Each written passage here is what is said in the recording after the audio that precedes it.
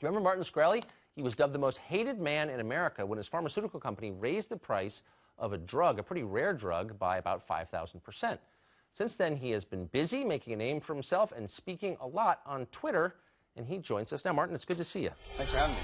So you're uh, one of the most hated. It's hard to know who's the most hated man in America, but you're definitely up there. Yeah. No, you know what I mean? And I, would give you the crown, but I don't have the poll here. Um, so typically, when people are under assault in the press, they go through a now familiar series of public confessions. They go on Ellen and cry. They go on Dancing with the Stars, humiliate or themselves. Or just hide. Exa or hide, exactly. Move to Barbados. You've gone onto Twitter and just gone like crazy. So election, I can't even read some of these because they're, they're, too over the top, but election night, you tweeted this to Hillary Clinton. I've always hated you, you stupid blank. Time to close the Clinton Foundation. No more influence to peddle, Hillary Clinton. You go on, you attack celebrities, Britney Spears you attack, and then, mean, I could just go on and on and on. Bernie Sanders, you're a loser who doesn't understand economics or business. Keep my name out of your mouth. Take your communism to a country that wants it. Well, that's what happened, right?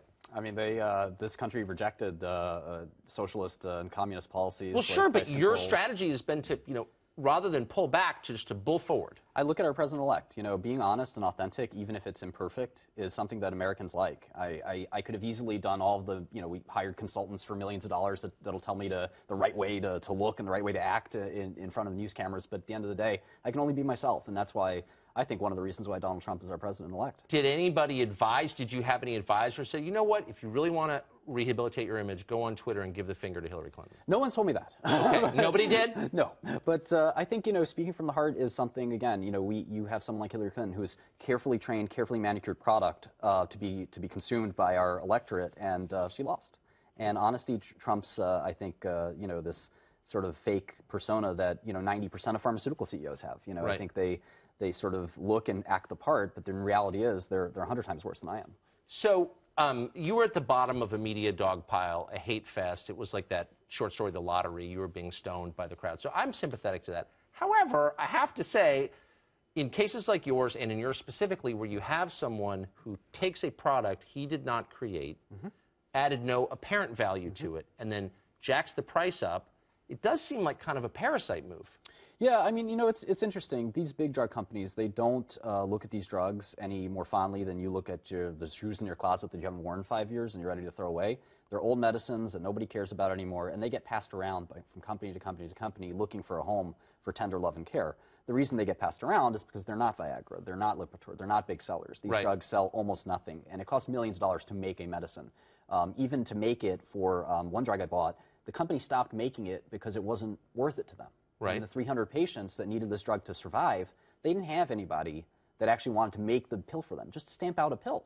And so we bought that drug. We raised it 20-fold. There was no media celebrity. There was no, uh, nobody knew who I was that day, the day before, the day after. It was only after, I've done this about six times, and each time the patients thank me for doing it because they say, I'd rather have someone make a few dollars and make my pills reliably, maybe continue research in the field, give grants out, do the things that you need to do to be a drug company, because when I have this rare disease, only a few hundred people have my illness. Right. It's I don't have the numbers of erectile dysfunction or cholesterol. I, I get that, but if you raise it 5,000%, it seems a bit like a hostage situation. It's, it's still barely profitable, and if you look at the, um, the amount of uh, people that have this illness and you add it all up, there are orphan drugs that are half a million a year, every year, forever.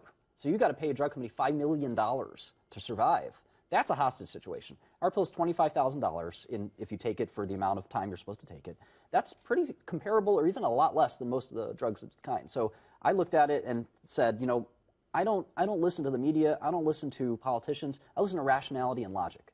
And I, I think you do as well. And I'm going to price this drug where it belongs, not where somebody tells me to, not where it's going to look bad or, right. or make me look good. And I'm going to serve these patients. And, and that's what I've done. So you're now facing criminal charges not related to this. That's right.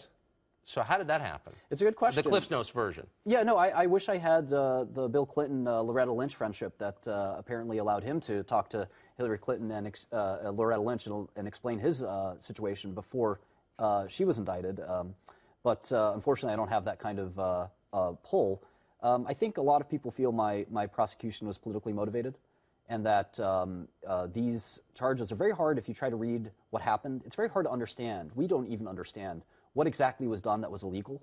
And um, I think that uh, this case was only really brought after uh, I was uh, in, thrust in the media spotlight after the Daraprim situation. Did the investigation begin before you became infamous? Oh, absolutely. Okay. But your contention is you never would have been indicted had it not been for the attention that Hillary brought to you by tweeting about you. Never is a strong word, but you know, prosecutors, like any other politician, they become famous when they indict famous people. These prosecutors need a job at a law firm to, you know, they need to make five million dollars Right. working at a top law firm. The same way Preet Bharara could make five million dollars Right. if he became a partner at uh, one of the law firms in this building. So you like Trump, I think. Sure. Seem to on Twitter anyway. But Trump is making a counter case, really kind of against yours. He did with Boeing the other day. He said, you know what? We want him to make money, but we don't want to make too much money. Yeah, and I don't want to make too much money either. You know, the Turing is a company that's across the street from here, literally catty corner. Its profit margins are very thin. Pfizer raises the drug price of uh, Viagra 13% last year. 13%. You're supposed to raise prices to Not keep to brag, but I wouldn't know. Yeah. Uh, you're supposed to raise prices in line with inflation to Okay. combat, you know, inflationary forces. That's why your salary, maybe your salary goes up 10% a year, but most people's salaries goes up 1 or 2% a year because it's supposed to keep pace with inflation. It doesn't make sense to me that Pfizer, who's going to make, what, 10, 20 billion dollars this year, needs to raise the price of Viagra 10%. I've got 100 people catty corner from here barely making ends meet. We, we're trying to make new drugs for rare diseases. We need the money.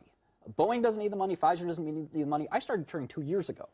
Uh, and we're doing groundbreaking research in five or six different diseases. And I think it's okay for us to make a small profit. So you're cool with the government coming down on big companies and saying you're price gouging, but not on little companies or your company. I'm not cool with, with any communist price price uh, uh, price fixing. Um, I think what Trump wants to do is pretty smart. You know, he he understands that pharma companies have been getting away with quite a quite a nice gig, uh, raising drug prices.